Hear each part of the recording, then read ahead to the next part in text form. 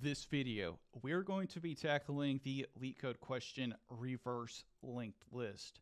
This question is great because many of the linked list concepts that you learn in this video will apply down the road to other linked list questions. Let's jump right into it. So first things first, in this example and in LeetCode's example, you are going to be given a linked list that looks something like this. And what LeetCode wants you to do is they want you to reverse it. So in our example, we have one, two, three, four, five. And in this example, we have five, four, three, two, one. LeetCode wants you to reverse it. Pretty simple. But the real question is, how exactly do we do that? There's many ways that we could do that, but this is the simplest. It's the it's the least mentally taxing and it's also very time and space efficient. All that we're going to do is we're going to take these arrows, these references, these linked lists are just nodes that are chained together with references, with arrows, and we're going to reverse them so that this arrow now points to the previous node. And we're just going to go down the linked list, iterate, and turn this little arrow around. Now, there's a couple of you out there that are probably smartasses. So you're going to say, well, that linked list doesn't look like that linked list. Visually, humanly, you would be correct. When we look at this with our human eyes, that is absolutely true. This linked list is different from this linked list. But the thing is, the computer can't tell the difference because when we when we reverse it, we're going to assign a new head. And when the computer iterates through it, it will be identical. It will now be five, four, three, two, one. And this linked list is the exact same five, four, three, two, one. But the thing is, is that there's a couple more steps. It seems pretty easy on the surface and it's not really that difficult, but there's a couple more steps that we have to worry about in order to actually make this thing happen. So the first thing that we're going to do is we're going to take a null and we're going to assign it to the previous element of number one. We're going to take this null, we're going to place it right in front of the number one. And the reason that we're going to do this is because you must have a null at the end of your linked list. You may be asking yourself, well, that's not the end of the linked list. It's not the end of the linked list now, but it's going to be the end of the linked list once we get done. Next thing that we're going to do, just like every other linked list problem in existence, in existence, we're going to go ahead and we're going to assign the head. This is pretty much a pointer. The head is pretty much a pointer that signifies where we are going to start iterating and also where we are at in memory. It's very similar to a for loop.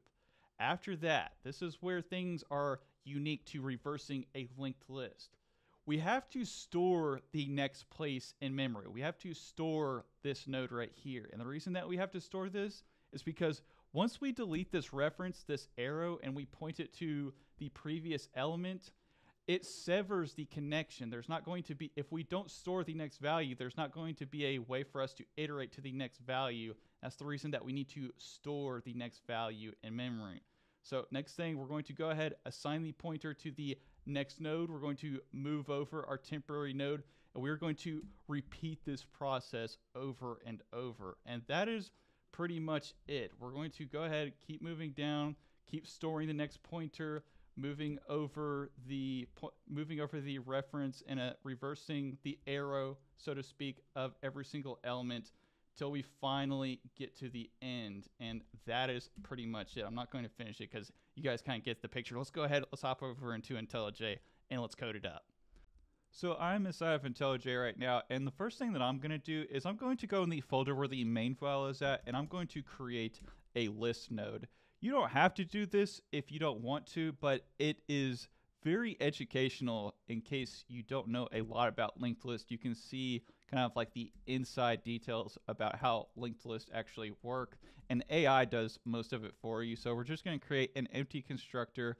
We're also going to uh, have a constructor that takes in this dot val. We'll set this uh, that to this dot val. And we'll also have a constructor that's going to take in the val and the node. And once again, AI is going to pretty much do everything for you.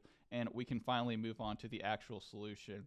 So next thing what I'm going to do is I'm going to create a brand new Java class. I'm going to call this solution.